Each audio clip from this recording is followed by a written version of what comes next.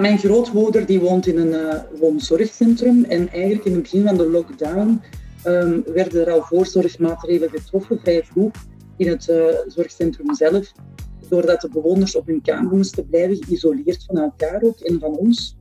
En eigenlijk kregen wij toen een brief, een mail uh, om te vragen of dat creatieve ideeën waren. Um, en ik heb toen gedacht, ja, wat kan gaan doen om, om hen toch te helpen? En aangezien um, dat zij natuurlijk niet van de digitale generatie zijn, had ik voorgesteld om te kijken of we geen uh, analoge telefoon konden uh, krijgen, zodat zij autonoom zouden kunnen bellen en contact kunnen blijven behouden met hun naasten en hun uh, dierbaren.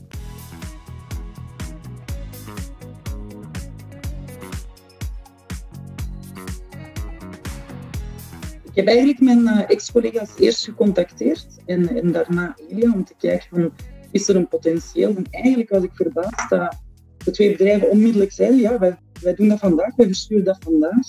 En dan, en dus eigenlijk had ik mijn LinkedIn-post gedaan met heel veel reacties en dacht, oh, nu moet ik al die mensen gaan teleurstellen. Die, allee, als je ziet, veel solidariteit is gewoon ongelooflijk. Uh, maar dus eigenlijk na een paar telefoontjes en een paar contacten was het eigenlijk al in kannen en kruiden.